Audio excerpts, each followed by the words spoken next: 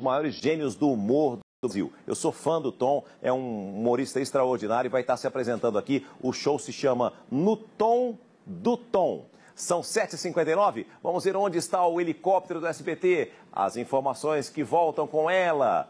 Tá linda demais, hein, Patrícia? Olha só. Meu Deus do céu. Bom, informações do trânsito, então, para você que sai de casa agora. Rodovia Raposo Tavares é essa.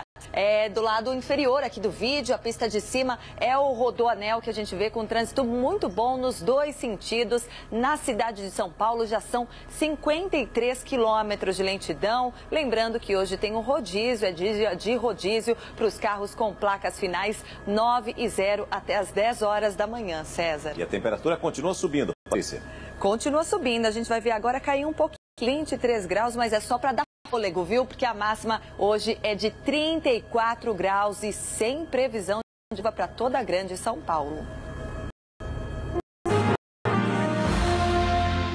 8 horas pontualmente. Muito bom dia para você que estava com a programação local aí da sua região, para você que já sintonizava o SBT através das áreas e antenas parabólicas que temos espaço por todo o Brasil. Para você que é assinante, não é, que tem a sua TV é, a cabo e que sintoniza também o nosso querido SBT, toda a nossa programação, não apenas o jornalismo. Para você que através da internet acompanha as notícias em todos os lugares do planeta. Para você que tem instalado aí na sua casa o nosso Gato Net.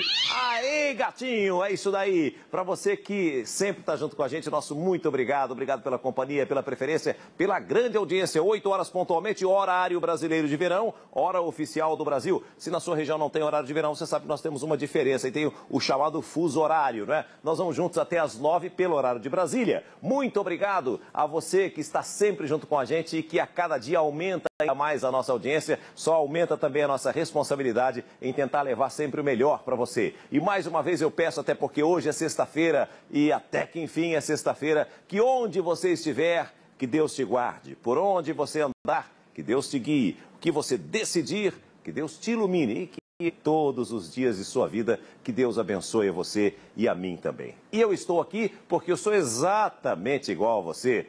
E você? Ah, você não é diferente de mim, nós somos iguais. Notícias, informações, prestação de serviço, a sua opinião, tudo isso faz do SBT Manhã nem maior nem melhor que ninguém. Simplesmente diferente.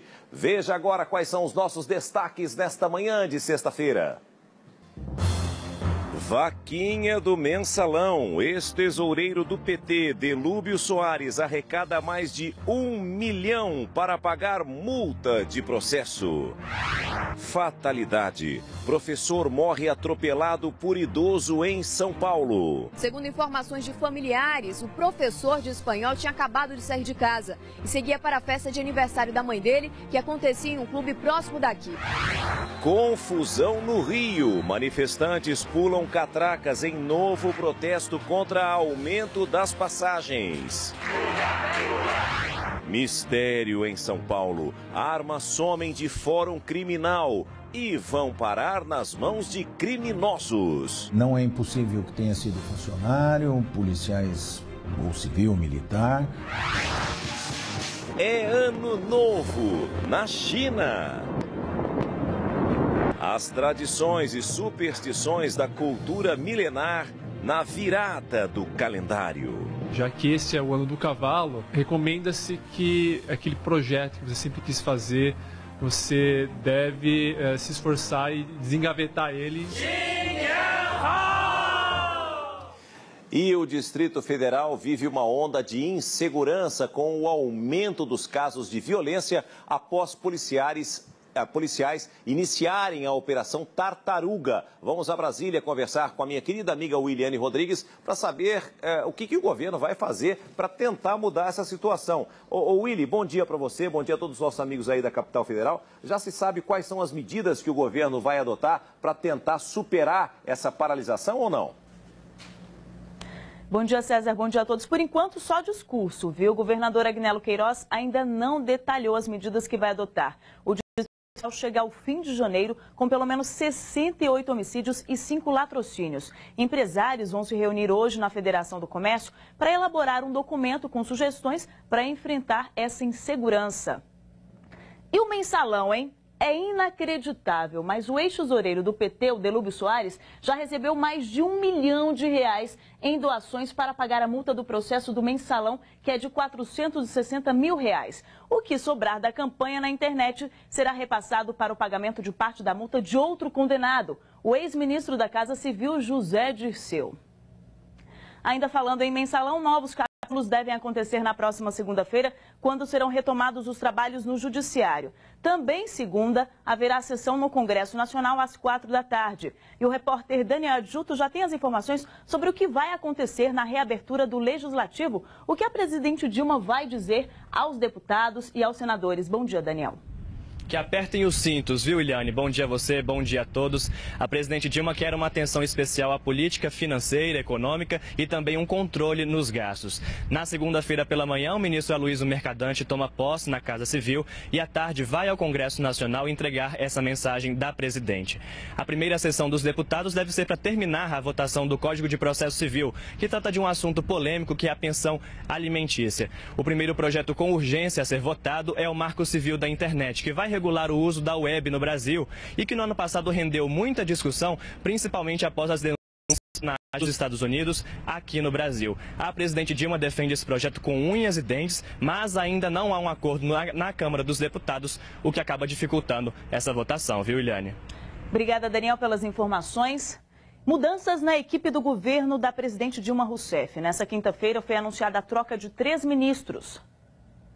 Depois de forte pressão de setores do PT, a ministra da Secretaria de Comunicação da Presidência vai deixar o cargo. Ainda não é oficial, mas Helena Chagas será substituída pelo porta-voz da presidência, Thomas Trauma. Ela entregou a carta de demissão nesta quinta-feira para presidente Dilma. Helena Chagas quer sair já na próxima segunda-feira, quando outros três ministros deixarão os cargos. Alexandre Padilha deixa o Ministério da Saúde. No lugar dele entra Arthur Quioro, secretário de Saúde de São Bernardo do Campo. Gleice Hoffmann, da Casa Civil, vai ser substituída pelo ministro da Educação, Aloysio Mercadante. E na vaga dele fica o atual secretário executivo, José Henrique Paim Fernandes.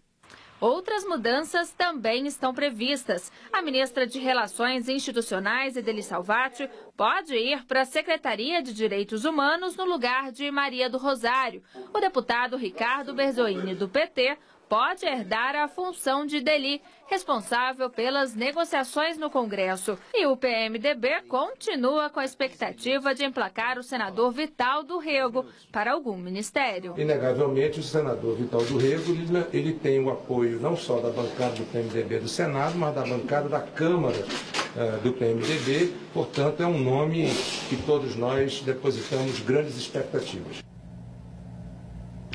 E o ministro da Saúde, Alexandre Padilha, cancelou o convênio firmado entre o ministério que ele está deixando e uma ONG que pertencia ao pai dele. No último mês, como ministro da Saúde, Alexandre Padilha assinou um convênio com a ONG Coinonia. O pai do ministro é um dos fundadores da organização. A parceria foi revelada pelo jornal Folha de São Paulo. O contrato foi fechado no fim do ano passado e publicado no Diário Oficial no dia 10 de janeiro de 2014. O valor do convênio era de quase 200 mil reais. Em nota, o Ministério da Saúde afirmou que a organização só foi escolhida porque comprovou todas as exigências dos editais. A ONG trabalha com ações de prevenção a doenças como a AIDS. A entidade informou ainda que Anivaldo Padilha, pai do ministro, foi sócio da organização somente entre os anos de 2007 e 2009. Com a repercussão negativa, o pré-candidato ao governo de São Paulo cancelou o repasse do dinheiro, mas ressaltou que a ONG já fechou convênio até com o PSDB, quando José Serra foi ministro da Saúde. Padilha também foi criticado pelo pronunciamento em rádio e TV. Ainda como ministro, falou sobre uma campanha de vacinação que só vai ter início em março. Soa claramente como um início de campanha. É o uso institucional do poder em benefício de uma candidatura.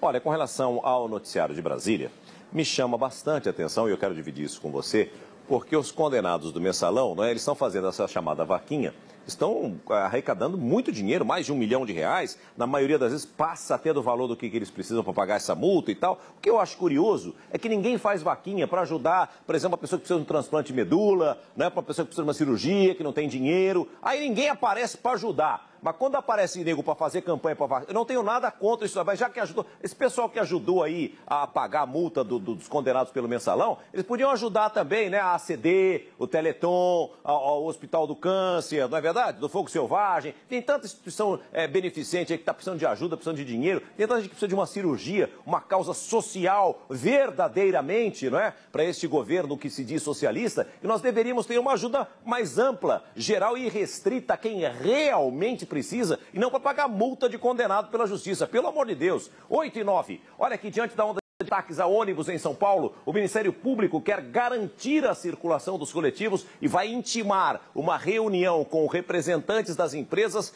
e as autoridades. A região metropolitana tem um veículo incendiado e depredado, imagine, a cada seis horas. Veja. A polícia mapeou os locais onde os ataques vêm acontecendo com mais frequência. O problema atinge principalmente os passageiros dos bairros Jardim João 23 e Jardim Educandário, na Zona Oeste, e Jardim Ângela, na Zona Sul. Qualquer manifestação queima ônibus?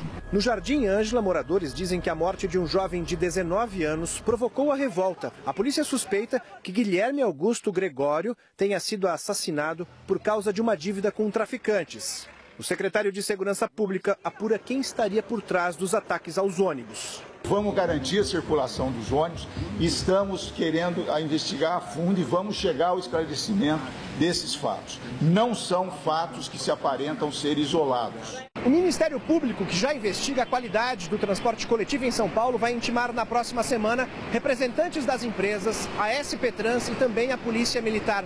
Os promotores querem uma ação imediata para restabelecer a circulação dos ônibus nas regiões onde ocorreram os ataques. Uma rotina de medo para quem trabalha ou utiliza o transporte público.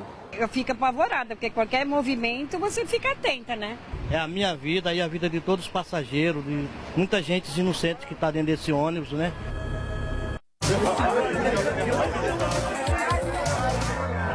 São 8 horas mais 11 minutos pelo horário brasileiro de verão, hora oficial do Brasil. Cutuca o gordo aí que a sexta-feira começou, começou agitada. E olha, uma, uma sexta-feira muito quente aqui em São Paulo e em todo o Brasil. Daqui a pouquinho a Patrícia Rocha traz a previsão é, completa para você, para sua região. Nós vamos agora à nossa enquete de hoje. O que é que você acha dessa onda de queimar ônibus como forma de protesto? A Esmeralda ligou para a gente e disse que isso não é manifestação e que tem outro nome, não é, Esmer... outro nome, não é, Esmeralda?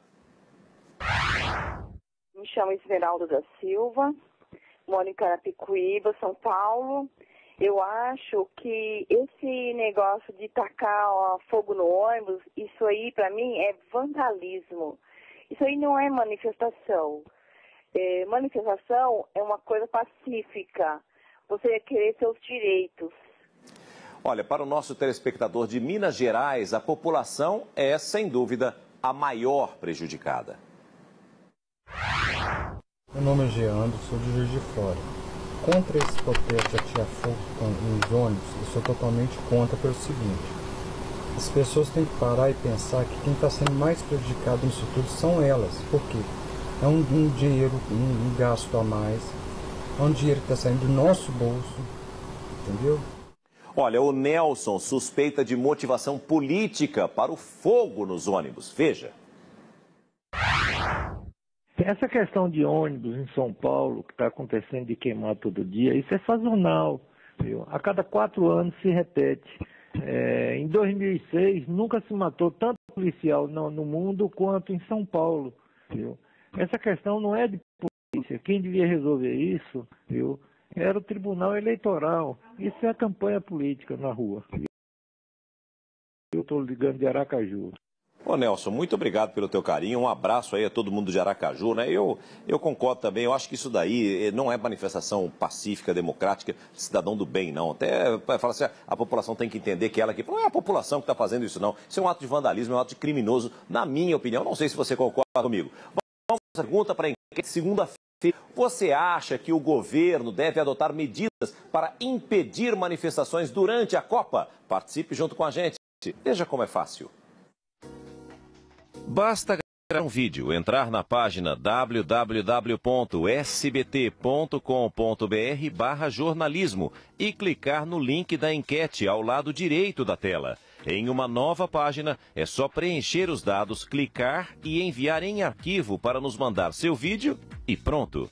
E além do site, você também pode ligar diretamente aqui pra gente. O nosso número em São Paulo com o código DDD11 é o 32360170, 32360170. Deixe lá o seu recado, você vai ouvir uma com a minha voz e você coloca ali a sua opinião. Não esqueça de dizer o seu nome completo e também de onde você está ligando, porque nós queremos ouvir opiniões de todo o Brasil. Se você preferir, você também pode enviar um e-mail com o número do seu telefone para esse endereço sbtmanhã.sbt.com.br, porque aí a nossa equipe é que vai entrar em contato com você, vai agendar direitinho um horário para sua maior comodidade, para que você possa mandar a sua opinião e possa participar junto com a gente. Desde já eu agradeço, até porque a sua opinião é de fundamental importância para o sucesso do SBT Manhã. São 8 horas e 14 minutos pelo horário brasileiro de verão, esta é a hora oficial do Brasil. E a polícia Ponta Grossa, no Paraná, continua a busca pelos homens que, no roubo de um carro, arrastaram uma mulher que achou que o filho pequeno era levado pelos. Novidade deste caso é que foram divulgadas imagens de câmeras de segurança que registraram toda a ação. Acompanhe a reportagem. Até onde vai a coragem de uma mãe para tirar o filho das mãos de bandidos? As imagens da câmera de segurança de uma empresa em Ponta Grossa mostram o desespero desta mulher na tentativa de impedir que o filho de 4 anos fosse levado junto de seu carro durante um assalto. Eu fiquei presa na porta, segurei nos vidros para poder ver se conseguia entrar. Não sei o que passou na minha cabeça naquele momento. Eram 6 horas da manhã. Ela estava saindo de viagem e resolveu passar antes na casa do irmão. Quando estacionou, três homens armados passaram a mãe a sair do Corsa.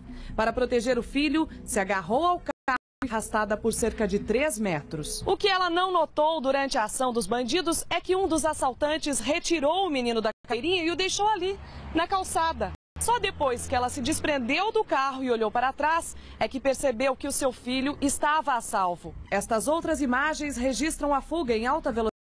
Algumas quadras depois, os bandidos abandonaram o veículo numa rua de pouco movimento. A Dail estranhou o carro em frente à sua garagem e chamou a polícia. Em busca dos suspeitos, a polícia usou até o faro apurado desta cadela, que apontou uma possível rota de por este matagal. Até agora ninguém foi preso. Apesar do susto e dos ferimentos, a mãe respira aliviada. Eu, na hora, nem vi que eu estava machucada. Depois que eu, ele me abraçou e eu vi que ele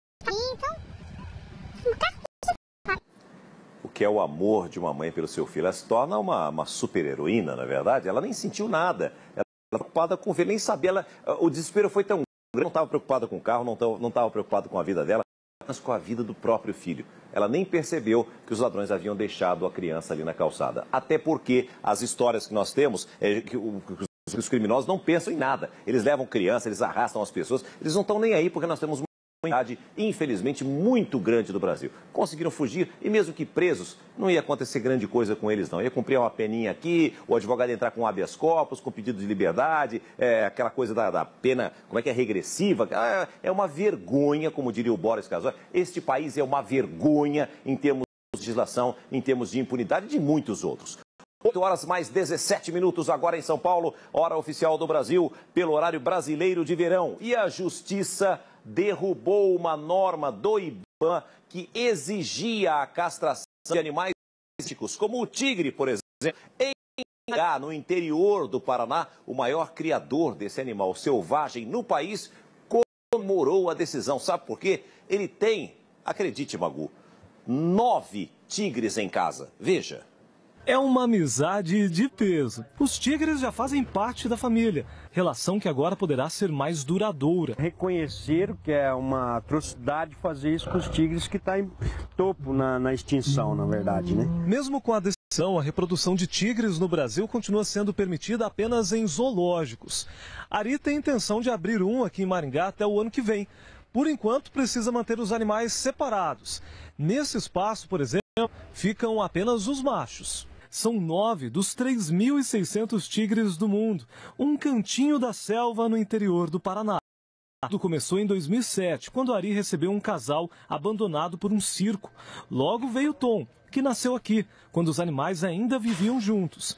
O bicho ficou famoso, participou de diversos comerciais e novelas, mas a fama não mudou a rotina. No canil, Tom mergulha nas brincadeiras.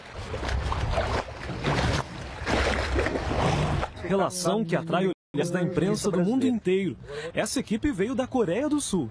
Ele destaca que a proximidade de Ari com os tigres é especial, impressionante, e isso precisa ser mostrado. Aê, garoto. É, parece mansinho, bonitinho, né? Na mão do. Vai brincar com um bicho desse aí. Se bem que tem tigresa aí que é mais perigosa que esses tigres aí, não é verdade, Patrícia? Tem, tem tigresa que é brava. Olha aqui, por falar em animais, o IBAN está pedindo doações de bichos de pelúcia para ajudar na recuperação de filhotes abandonados ou resgatados da floresta amazônica. A alimentação adequada, os cuidados com a saúde são novidades na vida deste macaquinho que por pouco não foi vítima do tráfico. Ele e outros animais apreendidos pelo Ibama preparados para ser devolvidos à natureza. Essas duas espécies, o macaco da noite e o salmim de coleira, chegaram aqui já adultos, mas na maioria das vezes os bichinhos chegam filhotes e muito dependentes. O Centro de Triagem de Animais Silvestres do Ibama recebeu 524 animais em situação de risco ano passado. 65 eram filhotes. O desafio dos e veterinários é facilitar o desenvolvimento deles. Sem a mãe fica difícil, porque nessa fase da vida, os filhotes costumam ser carregados e necessitam de uma companhia o tempo todo. Foi daí que surgiu a ideia de usar bichinhos de pelúcia para diminuir a ausência da mãe. E é certo. Os macaquinhos, por exemplo, se acostumaram rápido. Você coloca um bichinho de pelúcia lá, ele acalma, tranquiliza, para de chorar, porque isso meio que imita a situação natural que ele deveria estar, que é com a mãe dele na natureza. Uma campanha começou a arrecadar os bichinhos de pelúcia. A Manuela foi uma das primeiras a doar. É um animal que ele é, tem que viver na natureza, né? A doação dela vai ser bem útil para a Issa. A preguiça, apenas um ano, foi encontrada na rua. Ela ainda não tem autonomia e é muito dependente. Vai ser um processo lento para reabilitá-la, pouco a pouco ela reaprender, aprender a utilizar aqueles recursos que existem no ambiente natural, até para que a gente possa soltá-la. Mas aos poucos ela se acostuma com o um novo ambiente, a nova companhia, essencial nessa fase da vida.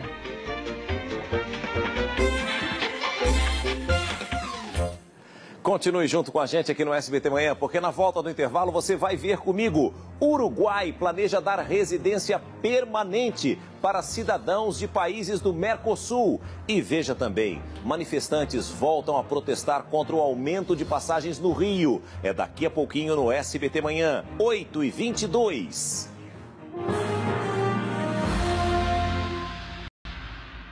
Alba quer acabar com o namoro de Ângelo, mas uma importante decisão é tomada. É que nunca vai me deixar ser feliz com a mulher que amo. Vou sair agora de casa. A Madrasta, nesta sexta, quatro e meia da tarde, no SBT.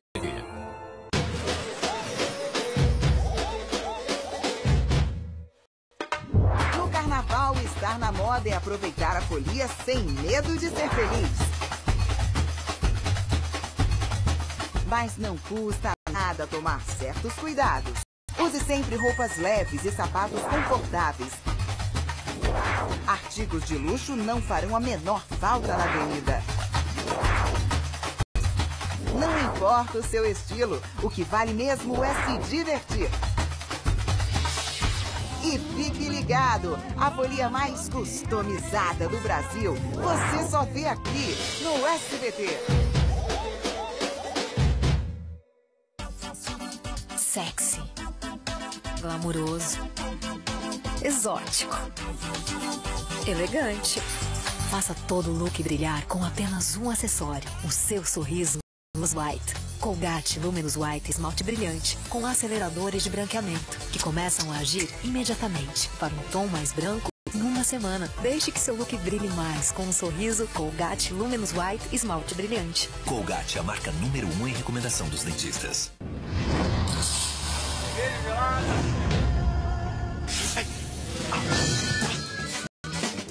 Tem Itaipava aí? Ih, Itaipava acabou, amigo. Acabou? Tem Itaipava aí? Ô, irmão, vendeu tudo. Tudo? Amigo, tem Itaipava aí? Agora só tem das outras, vai? Tá gelada? Vontade 100%? Merece uma Itaipava. Tem Itaipava aí? Tem Itaipava? Beba com moderação. Preparamos uma surpresa para mostrar uma funcionária do Banco do Brasil, o significado do trabalho dela e de todos os 120 mil funcionários do banco. A Sônia, um anjo de pessoa, é, me tratou muito bem, foi me orientando. E é onde eu fiz o meu primeiro Pronaf, que foi para fazer o poço artesiano. Minha família dependia da horta para sobreviver. Sônia, você é o meu anjo da guarda. É para transformar a vida dos brasileiros que esse banco existe. Somos o maior parceiro do governo federal no financiamento da agricultura familiar. Banco do Brasil. Bom para todos. Essa é a Dona Grazi, rainha da coxinha. O segredo? A filha Luísa. Luísa quer casar, só que pra Dona Grazi não pode ser qualquer um, não. Desapega, Dona Grazi. Se o que ela não usa mais na OLX e casa logo a moça, antes que ela acabe ficando pra titia. Hum, que coxinha. Faça como a Dona Grazi. Anuncie grátis e venda tudo na OLX. Quer fotografou, publicou. Desapega, desapega. OLX.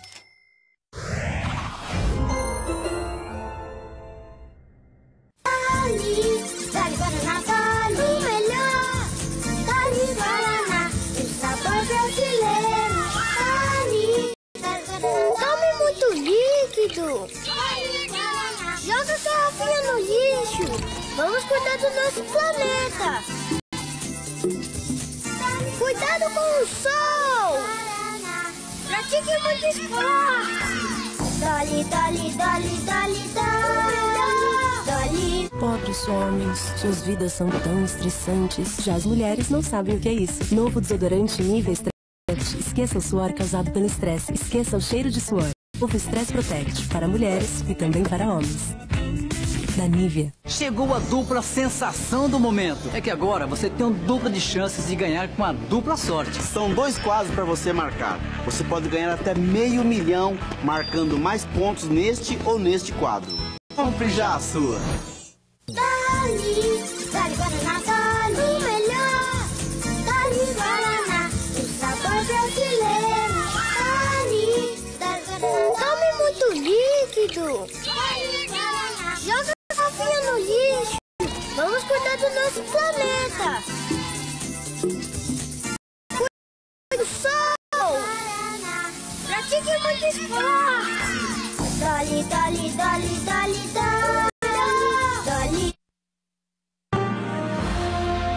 8 horas mais 26 minutos, 8 e 26 pelo horário brasileiro de verão, hora oficial do Brasil. Muito obrigado a você que liga e se liga junto com a gente todo dia aqui no SBT Manhã.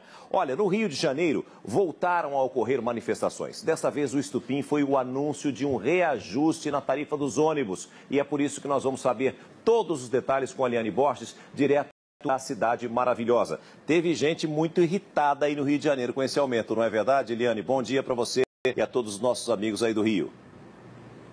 Bom dia a você também, César. Bom dia a todos. Ficaram sim muito irritados. Já tem inclusive vários chamados de protestos nas redes sociais. O principal deles deve acontecer na quinta-feira que vem. Ontem teve tumulto, inclusive na Central do Brasil. Manifestantes pularam as catracas na estação da Supervia.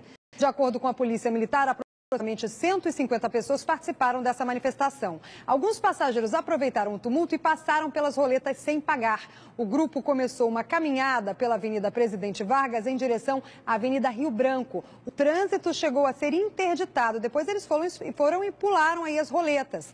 A assessoria de imprensa da Supervia informou que o protesto não influenciou na circulação de trens. O valor da passagem de ônibus vai aumentar no dia 8 de fevereiro aqui no município do Rio de R$ 2,75 para R$ 3,00. Um reajuste até menor do que o do ano passado, de 20 centavos, que causou todo aquele tumulto pelo Brasil afora. E agora, exclusivo.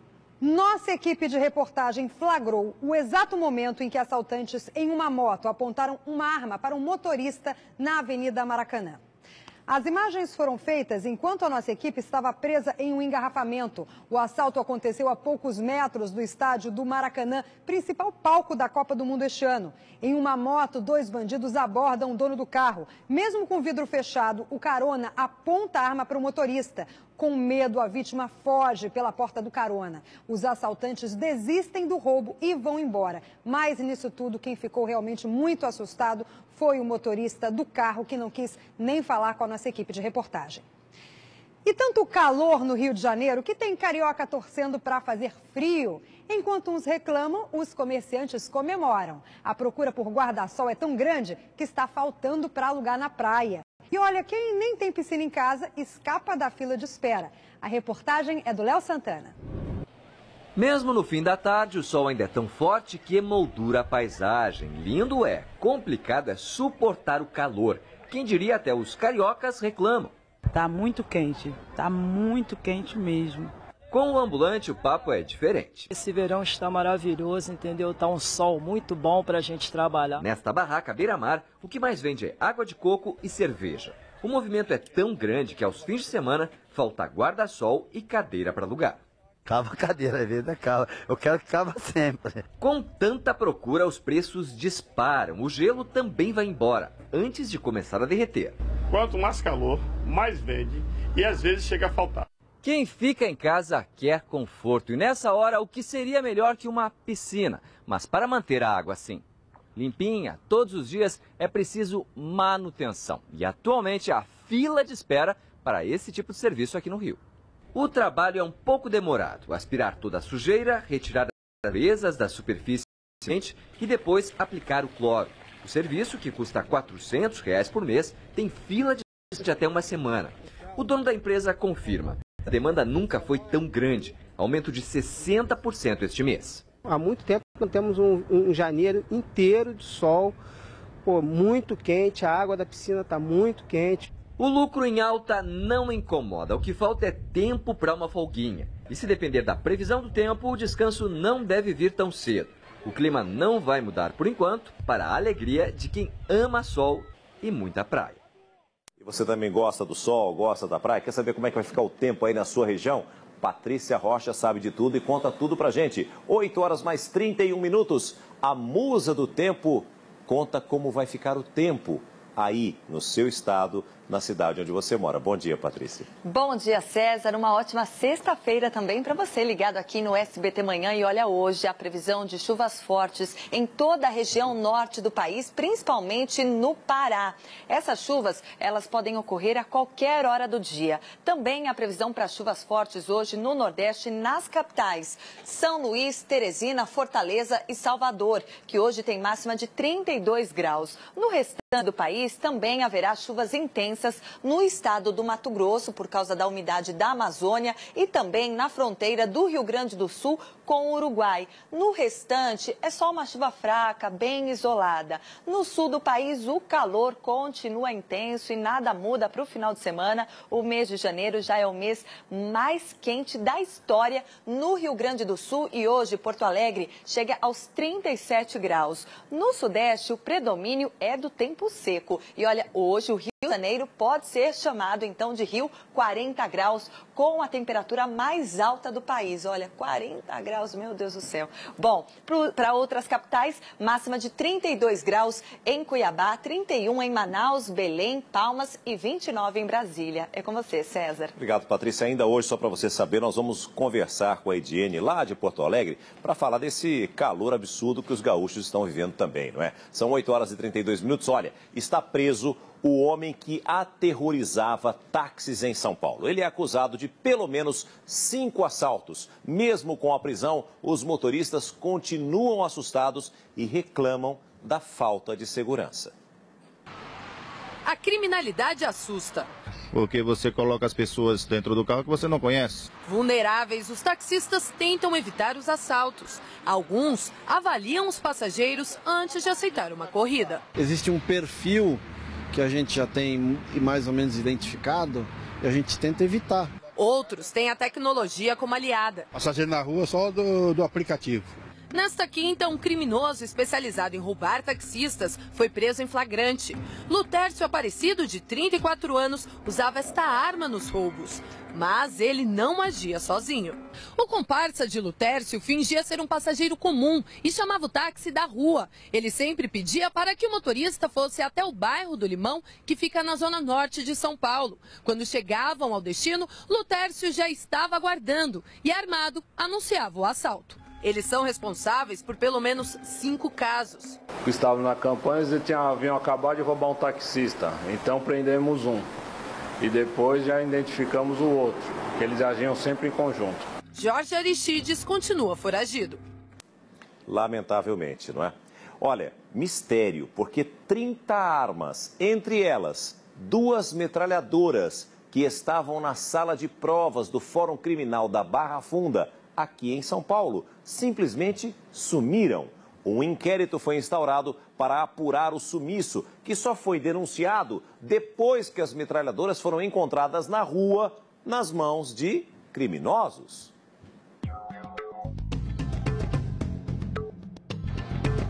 Todo dia, pelo menos 10 mil pessoas passam pelo fórum.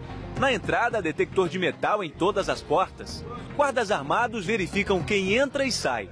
Então, como alguém roubou pelo menos 30 armas daqui? O caso só foi descoberto no fim do ano passado, depois que a polícia apreendeu com bandidos duas submetralhadoras de modelos parecidos com esse. Detalhe: são armas exclusivas da PM. E o mais estranho, elas foram levadas da sala de provas do primeiro tribunal do júri. Uma metralhadora é uma arma perigosa, uma arma que não é para estar tá na mão de. É uma arma para estar tá na mão da polícia não na mão de bandido. A sala de armas é parecida com esta onde são guardadas provas de assassinatos. Por questões de segurança, não fomos autorizados a filmar o local onde aconteceram os furtos. Até o ano passado, não havia sequer uma câmera na sala onde ficam quase 5 mil armas. Um problema grave no maior fórum criminal da América Latina. O local é cenário de julgamentos importantes, como o de Gil Rugai do massacre do Carandiru. Um inquérito foi instaurado para apurar o furto. Ninguém foi afastado das atividades. Depois do sumiço, a segurança foi reforçada com novas câmeras, sensor de arrombamento, alarmes. Segundo o presidente do primeiro tribunal do júri, a maior parte das armas era de processos envolvendo policiais civis ou militares. Não é impossível que tenha sido funcionário, policiais ou civil, militar. É possível.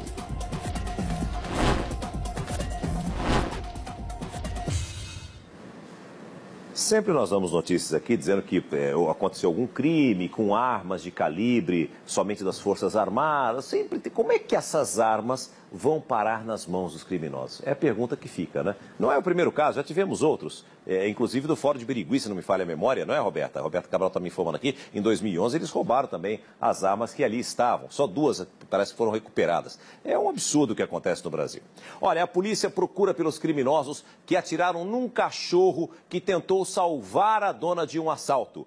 Átila levou dois tiros quando avançou contra um dos quatro ladrões que surpreenderam a dona dele. A mulher foi rendida pelos ladrões quando chegava em casa de moto. Ao perceber a movimentação, o cão tentou morder um dos assaltantes que reagiu e atirou contra ele. Depois do ataque, o grupo fugiu sem levar nada. Átila foi operado, mas uma das balas ficou alojada no peito dele. Ele não corre risco de vida, mas essa bala não pode ser retirada, porque isso é, poderia comprometer ainda mais o estado de saúde dele. Lamentavelmente, né? nós temos mais uma vez aí, realmente o cachorro é o melhor amigo do homem, não é só ditado, não. Eu sou apaixonado por animais, especialmente por cachorros. São 8 horas e 37 minutos, faltam 23 minutos para as 9 horas da manhã, pelo horário brasileiro de verão esta é a hora oficial do Brasil. Olha, uma boa notícia para quem pensa em se mudar do país. Tem gente que está cansado, tem gente eu vou embora do Brasil, não aguento mais esse país aqui. Pois muito bem, olha, o governo do Uruguai vai abrir as fronteiras. A preferência é para todo e qualquer cidadão que seja de um país amigo, como, por exemplo, o Brasil. A medida enviada ao parlamento uruguaio propõe dar residência permanente e automática a todas as pessoas nascidas nos países do Mercosul e associados ao bloco. Ou seja, se o projeto virar lei, brasileiros, argentinos, paraguaios, venezuelanos, bolivianos, chilenos, colombianos, equatorianos e peruanos podem viver e trabalhar no Uruguai por tempo indeterminado sem ter que comprovar vínculo de trabalho ou parentesco. A la libertad y a la integración está perfecto. Em termos de independência e integração, acho perfeito, diz o argentino. O comentário positivo não vem à toa. Muitos argentinos têm conta bancária no Uruguai, já que o país vizinho é dolarizado. Ou seja, moradores daqui levam dinheiro para lá com a intenção de proteger da economia argentina em crise. Em 2013, quase 1.700 argentinos ganharam residência uruguaia, quatro vezes mais que em 2012. Se no país de Cristina Kirchner a ordem é proteger as fronteiras, em terras uruguaias a mensagem é outra. Bem-vindo quem vem de fora. Permanezca con nosotros en no SBT mañana. Já estou treinando aqui no espanhol para poder, quem sabe, nunca sabe o dia de amanhã, meu filho. Olha aqui, na volta do intervalo você vai ver junto comigo, aqui no SBT Manhã, conversão proibida. Idoso atropela e mata professor em São Paulo. E você vai ver também as comemorações do Ano Novo Chinês no Brasil. É daqui a pouquinho, junto comigo, 8h39.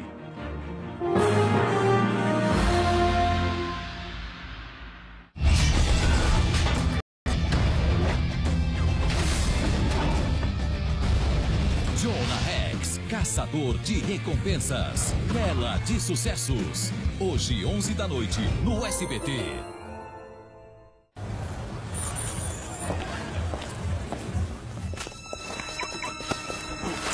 Passa sua beleza aí, cara. Vai, vai, vai. Vai, vai. Quero tudo, vai. Vai, sua beleza, passa pra cá.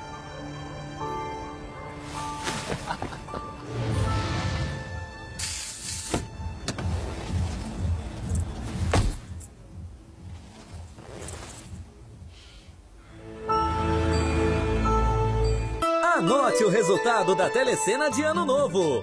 1, 4, 5, 8, 9, 11, 12, 13, 15, 16, 22, 23, 25, 26, 28, 29, 32, 33, 34 e 35. Faltam dois dias para você concorrer a mais de 1 milhão e 800 mil reais em prêmios com o último sorteio da Telecena de Ano Novo. Compre logo a sua para ter a chance de mudar de vida com a Telecena. Mas corra, faltam só dois dias. Todo torcedor é técnico. Todo brasileiro adora uma boa piada. Esporte e humor no mesmo campo. Vem aí, Estádio SBT. É bola na rede. Esse é o melhor roteiro que eu já li em anos. Eu tenho que fazer química no cabelo em todas as cenas. Alisamento na cena de ação. Tintura na cena de romance. Meu cabelo já tá super danificado. Novo 3CM blindagem Platinum. Repara até dois anos de danos e blinda contra danos futuros. Macio e brilhante. Eu vou ficar com papel e com essa maravilha. Novo 3CM blindagem Platinum. Uh, lá, lá. Chegou o Que Bom Blast. Pedaços dos doces mais gostosos no seu sorvete Que Bom. Experimente. Uma nova Que Bom para novos bons momentos. Meu marido tem o trabalho dele e eu tenho a Jequiti. Olha que legal! Por que, que você não vem ser um consultor ou uma consultora da Jequiti?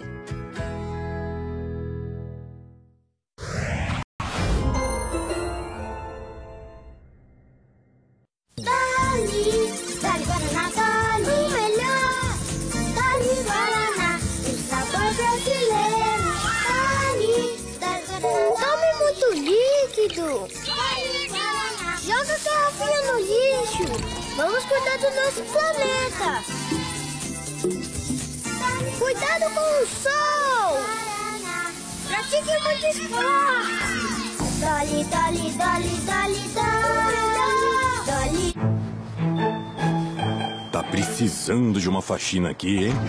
Não finge que não tá ouvindo, não. Limpar o vaso? Nada, né? E aqui é o banheiro. Aí, Pensar bem antes de casar, hein? Não deixe o seu banheiro falar mal de você. Chegou a Pique Power Plus, uma linha de blocos com o máximo poder de limpeza. Previne manchas e mantém o vaso sanitário limpo e perfumado entre as descargas. A Pique Power Plus, seu banheiro vai falar muito bem de você.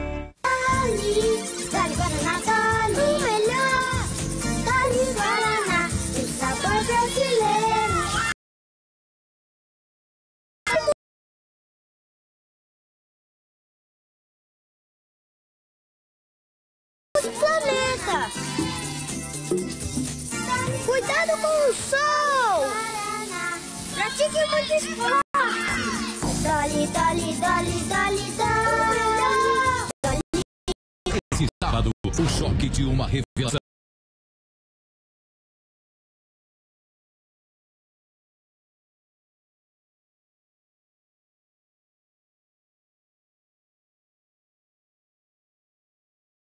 A, a